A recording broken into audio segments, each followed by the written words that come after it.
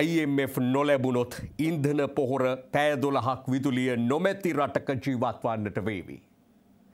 මේ අනතුරු ඇඟවීම කරන්නේ ජනාධිපති රනිල් වික්‍රමසිංහ මහතා අපට ජාත්‍යන්තර මූල්‍ය අරමුදලින් ආධාර නොලැබුණොත් ඉදිරියට ඉන්ධන නොමැතිව පෑ දොළහක පමණ විදුලි කප්පාදුවක් සමග ජීවත්වීමට සිදුවන බවට අනතුරු අඟවුවයි කියලා වාර්තා කරලා තියෙනවා. කොමුණත් තවදුරටත් එතුම මොනාද සඳහන් කරේ කියලා අපි කියවා බලන්නට ඕනේ. පළාත් පාලන ඡන්දය තිබෙන දිනය සම්බන්ධයෙන් උසාවි තීන්දුවක් ලබා දීවියයි සඳහන් කළ ජනාධිපතිවරයා.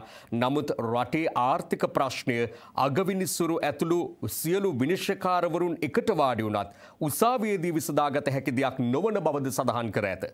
ආර්ථිකය පවත්වාගෙන යාමේ වගකීම තිබෙන්නේ පාර්ලිමේන්තුවට බැවින් පාර්ලිමේන්තුවේ දෙසි විසි පහ එක තැනකට පැමිණ වැටුඩු ආර්ථිකය ගොඩ ගැනීමට කටයුතු කළ යුතු ඇතැයි ජනාධිපතිවරයා පෙන්වාදී තිබේ. මහනුවර දිස්ත්‍රික්කයේ ව්‍යාපාරිකින් හා නීතිච්චවරුන් සමග මහනුවර ජනාධිපති මන්දිරයේ පැවති සාකච්ඡාවකදී ජනාධිපතිවරයා මෙලෙස සඳහන් කළා කියලා තමයි එහි වැඩිදුරටත් සඳහන් වෙන්නේ.